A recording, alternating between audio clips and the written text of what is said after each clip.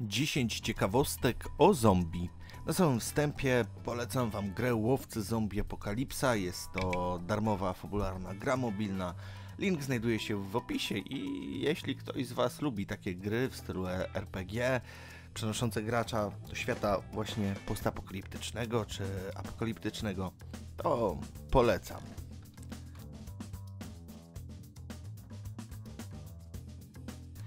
Antropologowie zwykle wskazują na cztery wierzenia z dorzecza Konga, z których może się wywodzić wiara w zombie. Słowo zombie ma tam dwa znaczenia. Może określać stwórcę, ale też posiadającego nadludzką moc umarlaka. Z kolei nsumbi oznacza demon lub diabeł. Wumbi wreszcie oznacza duszę bądź niewidzialnego człowieka. Jest też zumbi, czyli fetysz, amulet, a także przywódca zbuntowanych niewolników, któremu udało się w XVII wieku stworzyć w Brazylii wolne państewko. Choć Zumbi w 1695 roku został stracony, a jego zwłoki zbezczeszczone, jego imię stało się postrachem kolonizatorów. Wiara w stwory zbliżone do zombie przybyła do Nowego Świata wraz z niewolnikami z Afryki. Ustalenie skąd dokładnie nie jest łatwe. Niewolnicy przecież pochodzili właściwie z różnych obszarów czarnego lądu.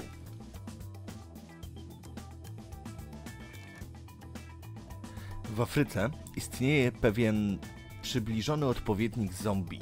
Oznacza Zanbibi, nocne upiory ludów fonów z Beninu, czyli dawnego Dahomeju. Do dziś przetrwała tradycja straszenia nimi dzieci. Damohej zdaje się być praojczyzną zombie, także dlatego, że to stamtąd pochodziła znaczna część niewolników sprzedawanych za ocean. Potęga całego państwa zbudowana była na eksporcie żywego towaru. Nic więc dziwnego, że tereny te nazywano wybrzeżem niewolniczym. Dodatkowo z Dahomeju pochodzi pewna religia. Na Karaibach, szczególnie na Haiti i w Guadalupe, dominują wierzenia typowe dla ludów fonów. W procesie chrystianizacji tylko kosmetycznie wzbogacono je o chrześcijańską ikonografię. Oczywiście chodzi tutaj o voodoo.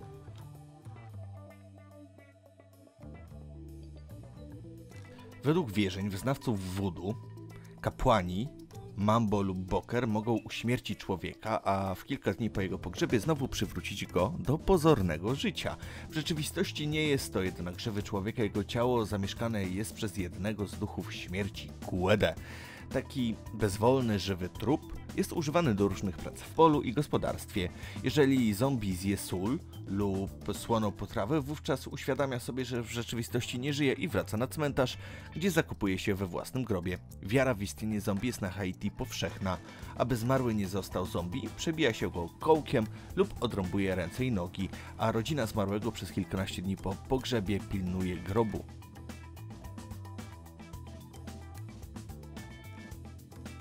Historia, którą przed chwilą wam opowiedziałem, wcale nie jest tak w pełni fikcyjna. Otóż zombiakami najprawdopodobniej są ludzie odurzeni przez kapłanów, których funkcje życiowe ustają na czas od kilku godzin do kilku dni. Zazwyczaj są odurzeni narkotykami lub trucizną, np. atropiną.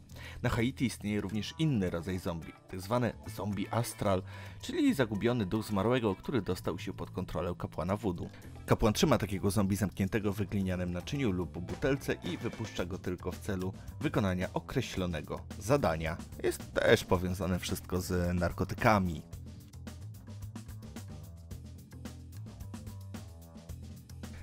Miejsce pochodzenia zombie. I tutaj ponownie możemy udać się na Karaiby. Otóż Afrykanie, którzy dotarli na tereny karaibskie, wierzą, że dusze po śmierci odchodzą w wodną otchłań życia, zwaną Gwineą. I nazwa tego podziemnego, magicznego świata jest identyczna jak nazwa pewnej krainy i to nie jest zbieg okoliczności. To właśnie z Gwinei pochodziło wielu niewolników. Bardzo liczni wyznawcy voodoo mówią o sobie, że są dziećmi Gwinei. Dzieci Gwinei nie liczą na zmartwychwstanie ciała, ale wierzą, że człowiek może wstać z grobu. Aby temu zapobiec, poddają zmarłych specjalnym rytuałom oddzielającym duszę od ciała, ale trzeba z tym uważać. Jak pisze na przykład Adam Węgłowski w książce Żywe trupy, żywe ciało, od którego oddzielono duszę, może być przejęte niczym puste naczynie przez czarownika. No i tak właśnie pojawia się temat zombie.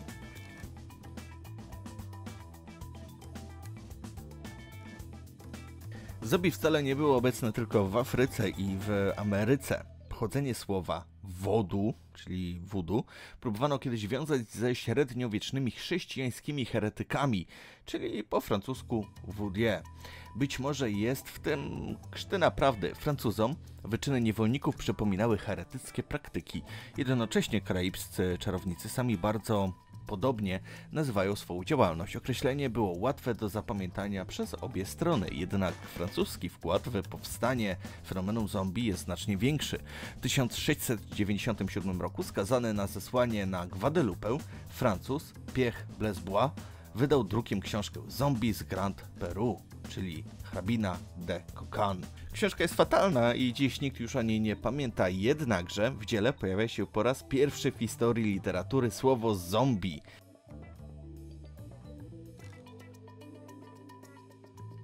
W atmosferze promieniującej ze Francji dekadencji w umysłach czarnoskórych mieszkańców Antyli wykluły się zombie budzące grozę, ożywione trupy.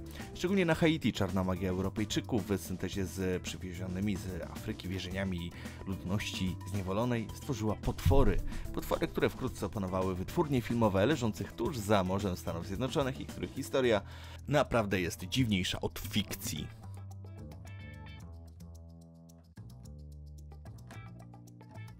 Białe zombie czyli amerykański horror z 1932 roku.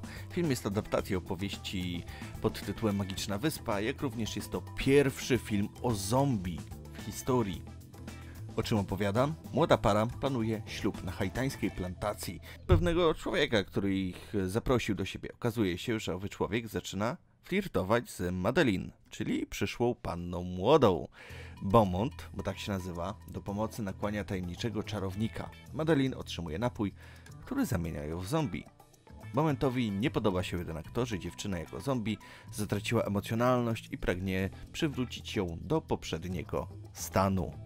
Czyli zobaczcie, zupełnie inne podejście do tematyki zombie niż te, które znamy dziś.